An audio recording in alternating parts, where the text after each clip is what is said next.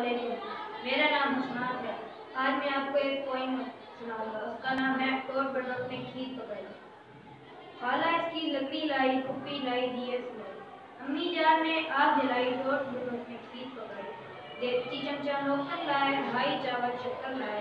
बहने लाई, दूध मलाई टोर बटोर में खीर पकाई यूँ ही दस्तरखान लगाया, गाँव का बड़ा घोड़ा आया।